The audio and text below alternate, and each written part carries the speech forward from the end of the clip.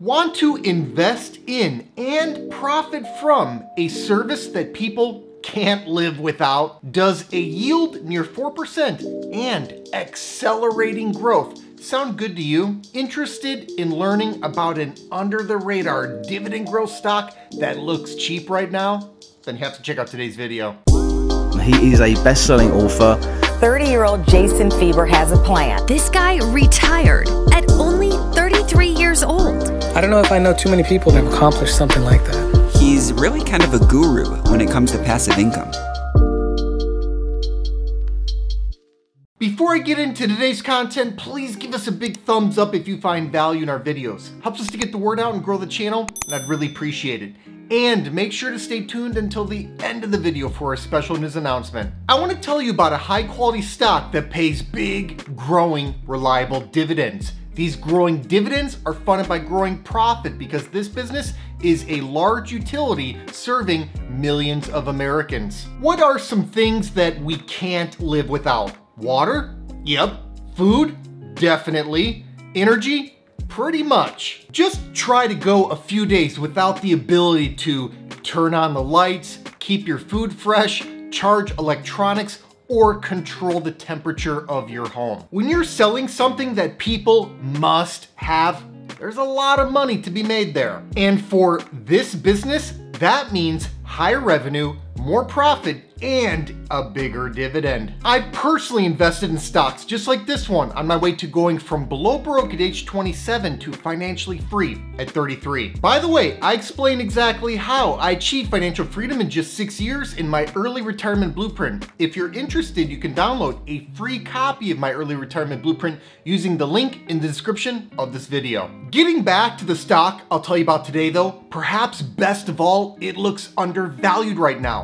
Price is what you pay, but value is what you get. Why is that important? Because buying a dividend growth stock when it's undervalued should provide for a higher yield, greater long-term total return potential, and reduced risk. With this in mind, I want to share with you an opportunity I recently came across in shares of NiSource Inc which appear to be trading at a significant discount today. NiSource Inc., stock ticker NI, is a fully regulated U.S. utility company. Founded in 1847, NiSource is now an $11 billion by market cap utility giant that employs over 7,000 people. NiSource serves approximately 3.7 million natural gas customers and 500,000 electric customers across six states through its local Columbia Gas and NIPSCO brands.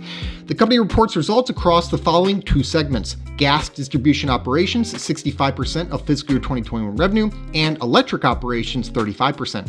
What we have here is your basic regulated utility. A utility benefits from providing a service, energy, that people quite literally cannot live without in modern day society. That benefit is further reinforced by the fact that utilities are usually running local monopolies where they are the only company providing the energy for a specific service area. Having a captive customer base like this is obviously extremely advantageous to the business and its shareholders.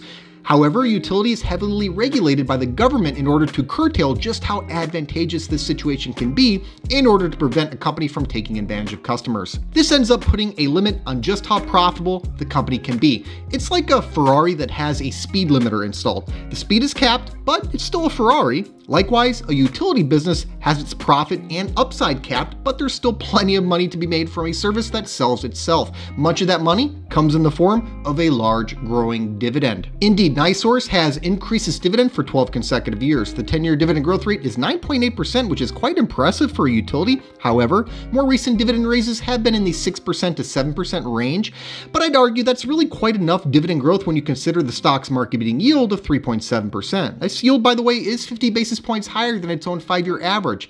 With the payout ratio at 69% based on adjusted EPS guidance at the midpoint for fiscal year 2022, this is a well-covered dividend. I like dividend growth stocks in what I call the sweet spot, a yield of between 2.5% and 3.5% paired with a high single-digit or higher dividend growth rate. This stock offers a relatively high yield, and yet you don't have to sacrifice dividend growth on the other side of the coin. These dividend metrics are very good and balanced. Looking at business growth, NiSource has seen its revenue go from $5 billion in fiscal year 2012 to $4.9 billion in fiscal year 2021. Essentially flat, utilities tend to not grow very quickly, but I'd really like to see something better than a flat line here. Meanwhile, earnings per share moved from $1.39 to $1.37 adjusted over this period. Again, pretty much flat. Based on these numbers only, this utility isn't an exciting investment idea at all. After all, who wants to invest in a business that is not growing? Well, here's the thing we invest in where a business is going, not where it's been. In this regard, NiSource is a lot more interesting. Looking forward, CFRA is projecting an 8% compound annual growth rate in earnings per share over the next three years for NiSource.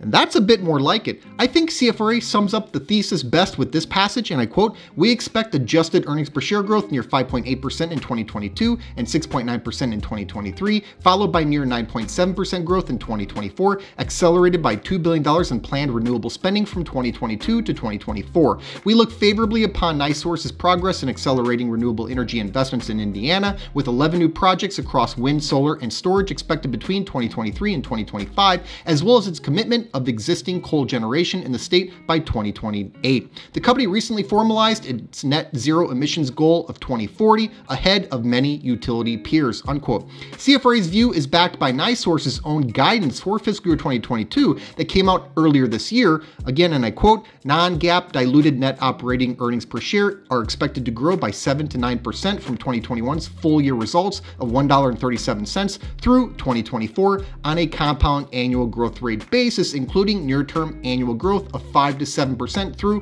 2023 unquote. If we look at more recent numbers, NiSource narrowed its adjusted EPS guidance for fiscal year 2022 in the Q3 earnings print to $1.45 at the midpoint. That would represent 5.8% year-over-year growth. This is almost right in the middle of the 6% to 8% near-term growth the company was guiding for at the outset of the year.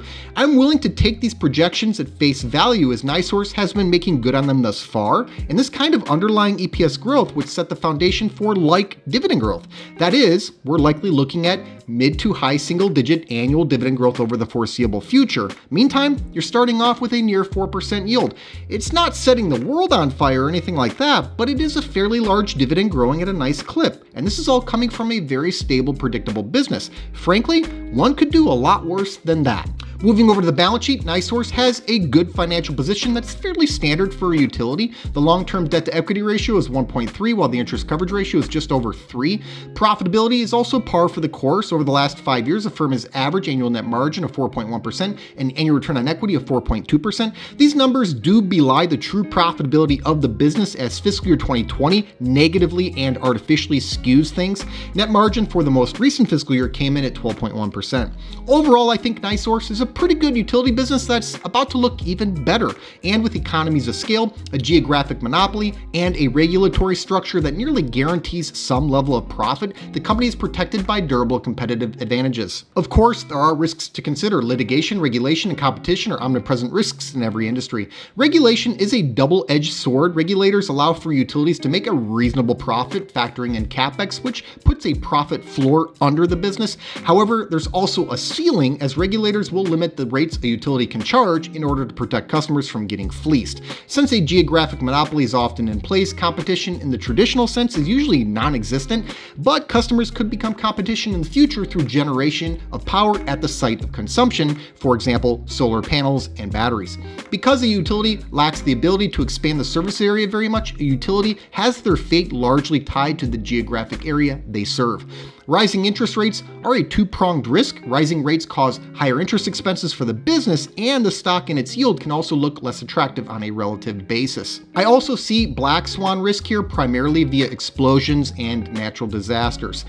This is a solid, unassuming utility that could be nearing a serious acceleration in growth, and with the stock down nearly 20% from its 52-week high, the valuation is also unassuming. The stock's price earnings ratio is 18.5 based on midpoint adjusted EPS guidance for fiscal year 2022. I think that's quite a sensible, even modest earnings multiple for a staid utility that could soon become much less staid. Now, the stock's own five-year average PE ratio is being skewed by that same fiscal year 2020 that affects profitability metrics.